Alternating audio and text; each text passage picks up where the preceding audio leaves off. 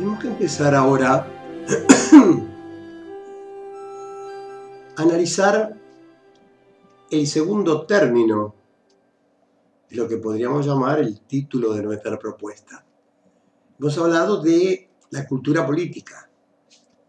De la cultura algo dijimos, el entenderla en su etimología, de cultivar, por lo tanto supone eh, una tarea, tarea previa que es preparar la tierra, darlo vuelta, etcétera, etcétera, pero ya de esto hemos hablado.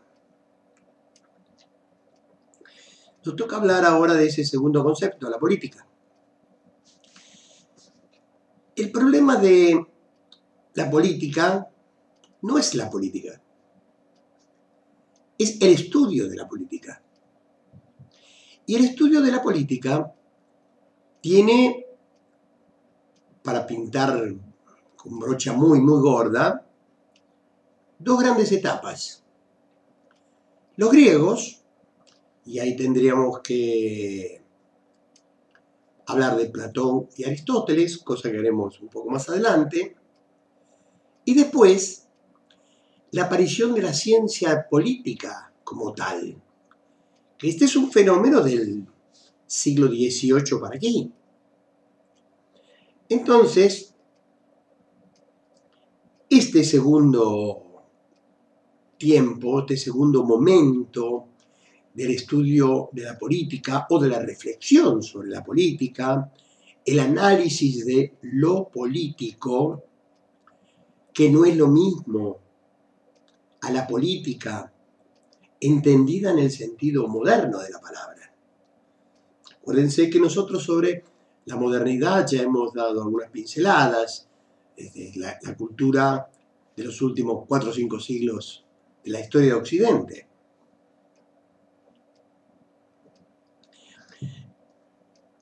Creo que también quedó dicho antes que esa etapa está caracterizada por el fuerte impacto de la ciencia y dentro de ellas sobre todo las físico-matemáticas. De esto hemos hablado algo, ¿no?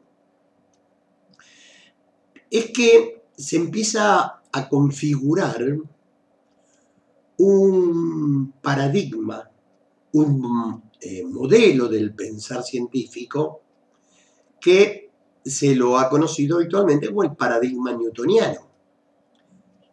El paradigma newtoniano, que es en realidad la continuidad del camino que abre Galileo para pensar la ciencia, está atravesado por la experiencia empírica, la medición, la cuantificación, el perfeccionamiento del conocimiento, etcétera, etcétera. Esta marca hace que el nacimiento de la ciencia política dentro de ese marco aparezca como una necesidad de no traicionar ese paradigma.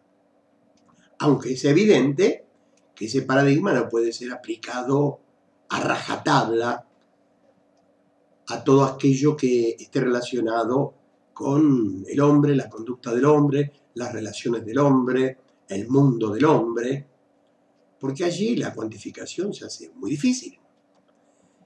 Así todo, es necesario, por lo menos, respetar un discurso racional que trate de encontrar relaciones causales, que esas relaciones causales tiendan a poder atreverse a enunciar algún tipo de ley histórica, ley del desarrollo de la sociedad.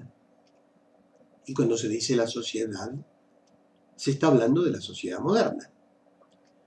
Y cuando se dice sociedad moderna, se está hablando del modelo centroeuropeo, que es el que domina los siglos XVIII y XIX. Entonces, yo diría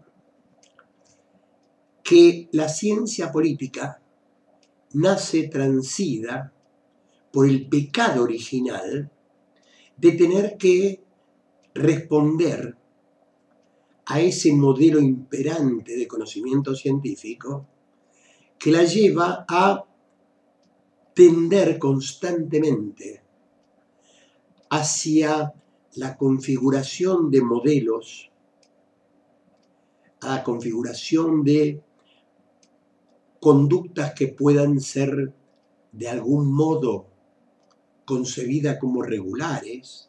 Regulares no quiere decir siempre idénticas. Regulares quiere decir que hay ciertas pautas que pueden ser detectadas mediante las cuales podemos decir hay ciertos índices que nos permiten hablar de progreso o atraso. Y fíjense ustedes que cuando estamos diciendo progreso y atraso, la pregunta necesaria, pero muy rara vez formulada, es ¿con respecto a qué? Porque el progreso es un camino de crecimiento, de desarrollo, que sale de un lugar y va al otro. Hay un antes y un después en la tarea del progreso. ¿Antes de qué? ¿Y después de qué? La carencia de estas preguntas es una de las dificultades que tiene en general el contenido de la ciencia política.